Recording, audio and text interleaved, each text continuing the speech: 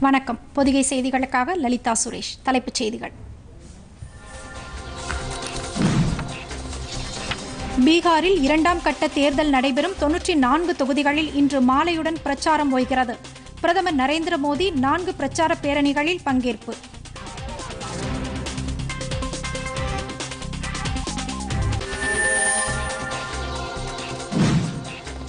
மறைந்த வேளாண் துறை அமைச்சர் துரைக்கண்ணுவின் உடல் அவரது சொந்த ஊரில் முழு அரசு மரியாதையுடன் இன்று மாலை நல்லடக்கம்.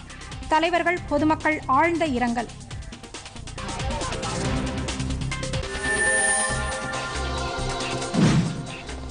தமிழகத்தில் வருகிற பதினாறாம் தேதி முதல் பள்ளிகள் மற்றும் கல்லூரிகள் திறப்பு.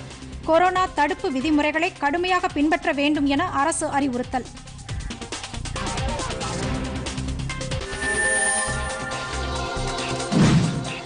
இன்று தமிழ்நாடு தினம். தமிழகத்தின் அறுபத்தி ஐந்தாவது ஆண்டு துவக்க வரலாற்றை பறைசாற்றும் சின்னங்கள் கன்னியாகுமரியில் மொழிப்போர் தியாகி நேசமணி சிலைக்கு மரியாதை.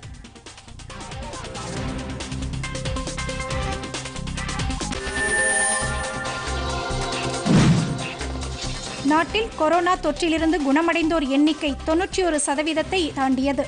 எழுபத்தி நான்கு லட்சத்து தொன்னூற்றி ஓராயிரம் பேர் குணமடைந்தனர்.